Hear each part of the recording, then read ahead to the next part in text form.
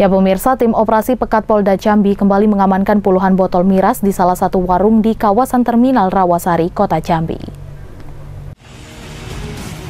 Puluhan minuman keras berbagai merek diamankan di salah satu warung di Terminal Rawasari di kawasan Pasar Kota Jambi.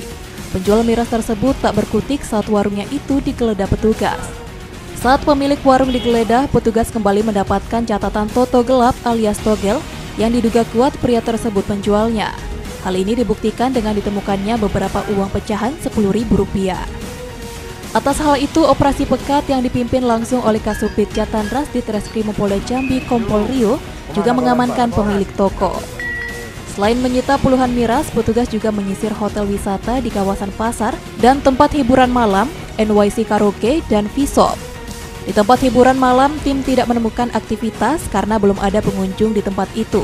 Tim hanya menemukan beberapa pekerja yang standby sebelum tamu datang. Dimas Sanjaya, Cek TV, melaporkan.